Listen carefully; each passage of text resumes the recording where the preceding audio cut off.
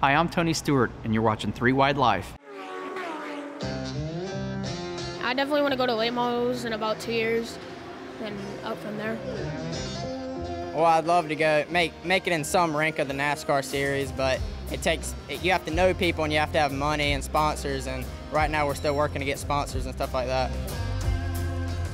You know, racing's an expensive sport, and it takes a lot of finance to to get there. So I had to have a company and a brand that I could build around, and something that um, I could attract sponsors with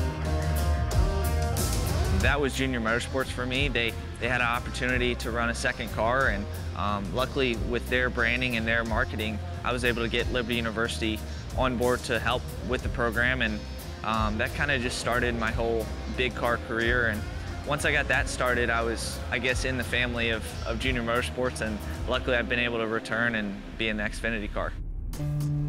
I've always wanted to aim for the NASCAR, the Cup Series, but it takes a lot of money and knowing people, and it'd be nice if we could get there. But if not, I've always wanted to fall back on dirt late model racing. My big goal is to get into NASCAR, and that's a, that's what I really want to do. So my dad said we have to do all this stuff and travel down here all the time. It's a seven and a half hour drive every week, so it's fun.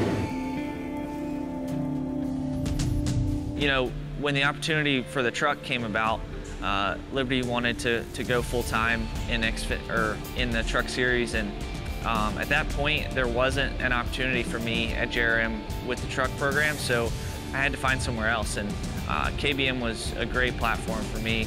It was really the, the next step for me. I could I knew I could win races, and they gave me a platform that I could could do that and really progress my career.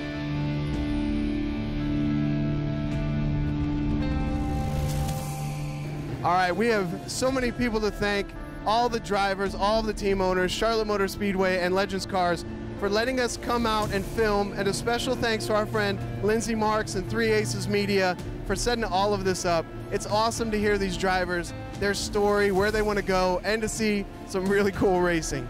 And until your next race, keep on living the three wide life.